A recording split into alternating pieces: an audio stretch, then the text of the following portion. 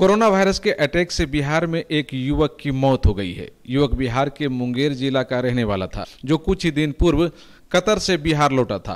तबियत बिगड़ने के बाद उसका उपचार बिहार के एकमात्र पटना स्थित एम्स अस्पताल में किया जा रहा था, किंतु मृतक सैफ अली को लाख प्रयास के बावजूद भी डॉक्टर बचा नहीं पाए और अंततः उसकी मौत हो गई। स्वास्थ्य विभाग के प्रधान सचिव संजय कुमार ने इसकी जानकारी देते हुए सैफ अली की मौत पर गहरी संवेदना व्यक्त की। और कोरोना से लड़ने के लिए जनता से अपील करते हुए साफ़ सफ़ाई पर विशेष ध्यान रखने का आग्रह भी किया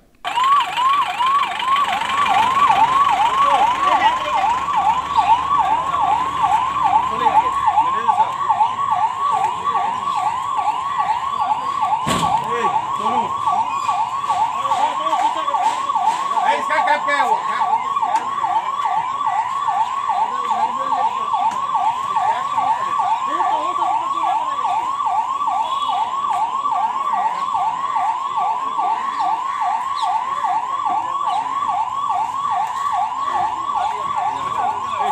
अरे तो फिर कैप इसको नहीं दिए थे वो कैप दिए हैं कैप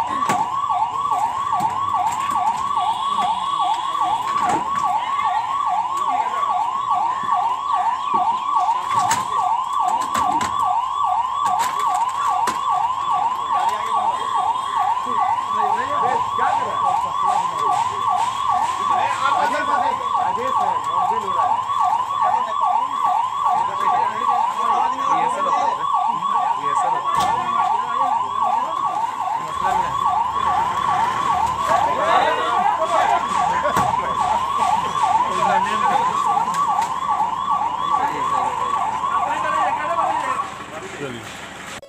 सीमांचल का गौरव Do you see what I see? What? Our future. Patna के बाद अब पूर्णिया में एलजी का branded showroom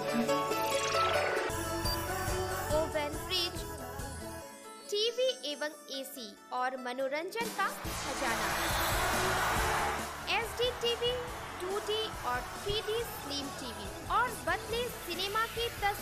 थ्री में आपको बनाए स्मार्ट एके ट्रेडर्स जमा मस्जिद रोड, लाइन बाज़ार, पूर्णिया।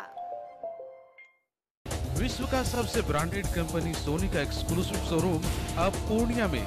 सीमांचल का मात्र इकलौता शोरूम पूर्णिया के जिला स्कूल रोड में, जहाँ आपको मिलेगा सोनी कंपनी का सबसे लेटेस्ट प्रोडक्ट्स के साथ साथ सभी तरह के मनपसंद प्रोडक्ट्स जैसे PlayStation video game P S P four headphone LED, mobile, Bluetooth, handycam camera, still camera smart watch DVD speaker एवं तमाम एसेसरीज, वो भी बेहतरीन सर्विस सेवा के साथ। तो आज ही मनपसंद प्रोडक्ट्स के लिए संपर्क करें सोनी का एक्सक्लूसिव शोरूम, जिला स्कूल रोड, पूर्णिया। बुकिंग एवं जानकारी के लिए हमारा नंबर है eight five three nine double eight zero seven eight six.